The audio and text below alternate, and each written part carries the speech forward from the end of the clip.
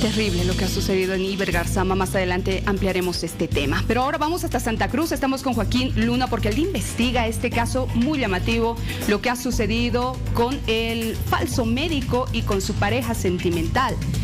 La falta de control de los custodios policiales, de dónde sacó esta arma justamente la mujer. Y el día de ayer Joaquín escuchaba el relato de la hermana de una de las víctimas y quien señaló que le permitieron ingresar a la morgue para que pueda identificar a estas dos personas. Y lo hizo. Corroboró que se trata del falso médico y de su pareja. Buenos días.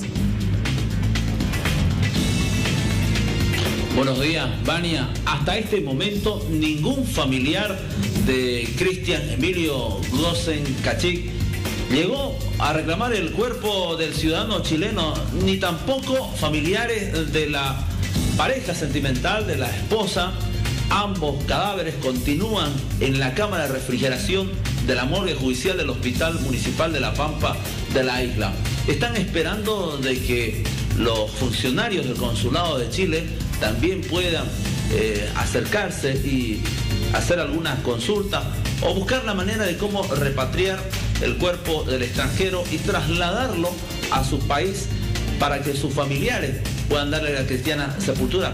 Pero la misma situación sucede con los funcionarios del Consulado de Chile. No se han aparecido y de acuerdo al reglamento que tienen eh, las morgues judiciales, esperan un aproximado de unos 30 a 40 días y cuando no aparece ningún familiar, lo trasladan a una fosa común de un cementerio municipal y allí sepultan los restos.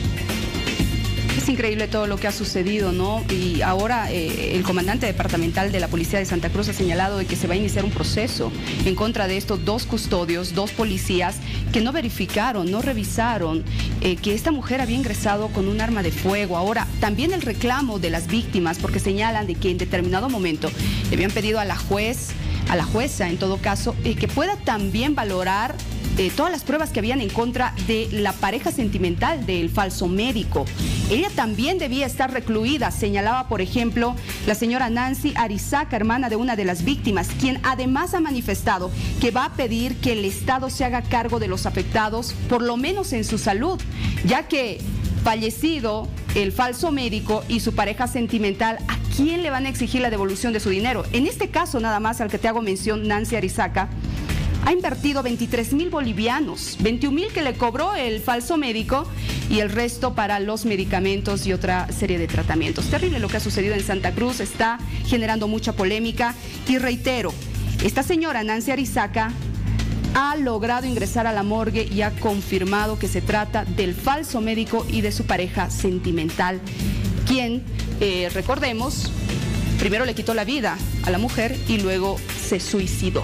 Vamos a ampliar la investigación cualquier momento. Gracias, Joaquín, por la información. 624.